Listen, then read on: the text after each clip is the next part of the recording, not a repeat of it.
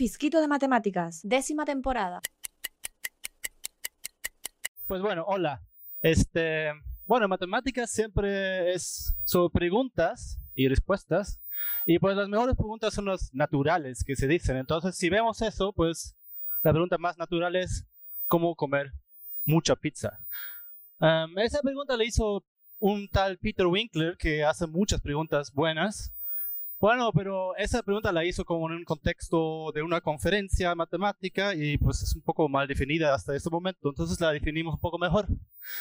Tenemos una pizza ya más esquematizada y este, cortada, ya está cortada en un número de pedazos arbitrario y de diferentes tamaños. Y hay dos personas que la van a comer, Alfredo y Blas. La van a compartir de, siguiendo algunas reglas. La primera, Alfredo empieza con el pedazo que él quiera y ya después se van alternando, pero con la siguiente regla. Después siempre hay que comer al lado del hueco. O sea, ya se han comido algunos pedazos, entonces es nada más dos opciones, el derecho o la izquierda. Ese es su juego. ¿No? Entonces, por ejemplo, aquí podría comenzar Alfredo ahí, Blas va de este lado, Alfredo ahí, Blas va de este lado, Alfredo ahí, Blas tal vez de este lado. O sea, esa es la regla. Pues la pregunta ahora ya la podemos precisar un poco más. ¿Cuánto puede comer Alfredo la pizza? ¿Cuánto quiere decir qué total? ¿Qué fracción del, del tamaño total? Entonces ya está concreta la pregunta y cuando Peter la puso, nosotros estábamos ahí. Bueno, dos amigos y yo estábamos escuchándolo y queríamos, estábamos muy intrigados por la pregunta y dijimos, vamos a trabajar en eso. Y bueno, como la foto de nosotros, todas las fotos no son tan actuales aquí, pero, pero así es eso. Nos veíamos, nos veíamos mejor en este momento. Este, entonces, claro, vamos a pensar para una estrategia para Alfredo, ¿no? Eso es que para cualquier corte de la pizza y cualquier reacción de Blas, tenemos que poder decirle qué hacer que quiere decir localmente voy a tomar lo que, lo que más me beneficia. Aquí en este juego quiere decir pues siempre comer el pedazo más grande al alcance. Entonces aquí vamos a ver que es muy mala idea. ¿Por qué? Porque si tenemos un corte así, donde hay diferentes pedazos, uno, uno grande y uno muy chiquito, pero muchos que son casi igual de grandes que el grande y unos que son casi tan chiquitos como el chiquito. Entonces, ¿qué va a hacer Alfredo? Pues Alfredo sí va a comenzar con el más grande, porque es glutón. Y ahora Bob, eh, Blas puede tomar el, casi igual de grande al lado, porque, porque puede. Y ahora Alfredo, por glutón, va a tomar el, casi muy chiquito de al lado.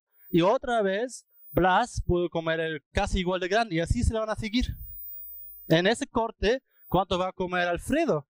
Pues Alfredo va a comer pues uno grande y muchos chiquitos, depende de cuántos pedazos haya, ¿no? Y, y Blas va a comer muchos casi grandes, ¿no? Entonces Blas come muchísimo. O sea, la fracción es muy mala para, arbitrariamente chiquita, de hecho, para, para Alfredo. Entonces esa es muy mala la estrategia. Vamos a, como no sabemos resolverlo, vamos a irnos a un caso un poco más particular, un subcaso, que son pizzas pares. El número de pedazos es par. Y aquí tenemos una estrategia buena para Alfredo que se llama seguir a Blas. ¿Cómo es eso? Pues es par, entonces Alfredo va a colorear los pedazos rojo, azul, rojo, azul, rojo, azul, así alternando. Eso nada más se puede porque es par, ¿no? No va a haber choque de colores. Entonces, sabemos que uno de los colores tiene al menos la mitad de la pizza porque pues juntos hacen el todo, ¿no? Entonces, digamos, rojo sea la mitad grande. Entonces ahora Alfredo puede empezar en rojo. Y después, a fuerzas, Blas va a comer algo azul, porque los dos adyacentes son azules. Y si ahora Alfredo le sigue a Blas, va a comer otra vez rojo. Y otra vez Blas va a comer azul. Y de esa manera, pues Alfredo va a comer todo lo rojo. Y entonces como al menos la mitad. Y eso es una buena estrategia, es mejor posible, porque bueno, si todos fueran del mismo tamaño, no puedo tampoco comer más que la mitad, Alfredo, ¿no? Entonces esa es la estrategia óptima. Hay malas noticias. Pizzas impares. Y eso es realmente lo más chocante de todo ese, de esa pregunta. Hay pizzas, como esta que está aquí, que están cortadas de tal manera de que no importe dónde empiece Alfredo, si Bob juega bien, eh, Blas juega bien, siempre digo Bob, porque en original se llama Alice y Bob, por eso me pasa eso. Este, Blas puede comer cinco novenos del tamaño total en esa pizza. No importa cómo le haga Alfredo. Aquí la pizza, bueno, los pedazos chiquitos, imaginamos que sean de tamaño cero, o si no les gusta, son así muy chiquititos. Entonces esa pizza es como lo más loco, ¿no? Porque dirías tú, bueno, yo soy buena onda, tú puedes empezar, pero no.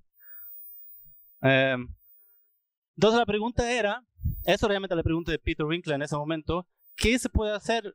O sea, ¿puede ser peor? ¿Puedo cortarlo todo y peor una pizza donde Blas va a comer más que cinco novenos? ¿O eso es realmente el peor caso?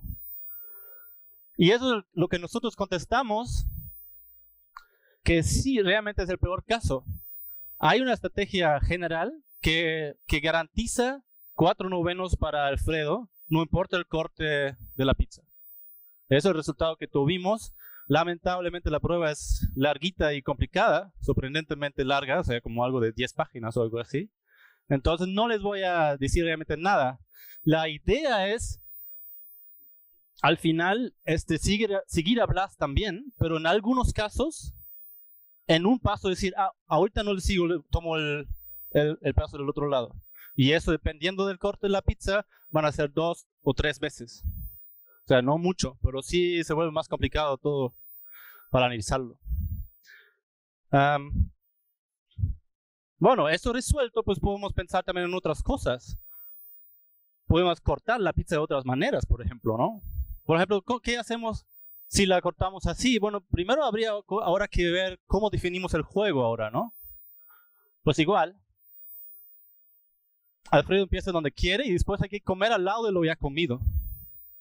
Entonces aquí es muy fácil porque con, el mismo, con la misma idea de los colores, Alfredo puede comer la mitad.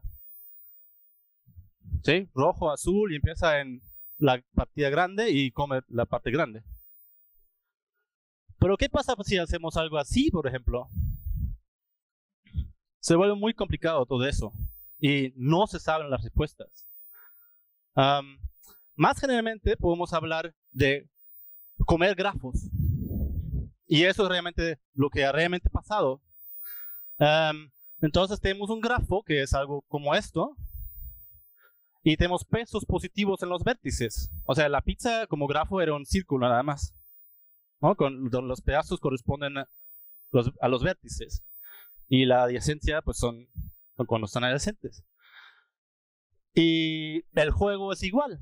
Alfredo y Blas comparten. Alfredo empieza donde quiere y después bueno, hay que comer tal que lo, que lo comido se quede conexo como su gráfica. Eso corresponde a decir como del lado. Entonces aquí, por ejemplo, podría Alfredo empezar aquí. Uh, después Blas, un vecino.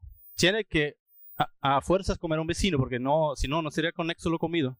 Y ahora Alfredo como un vecino de lo, ya comido, etcétera. Puede ser algo así. Y ese juego se ha analizado y hay teoremas.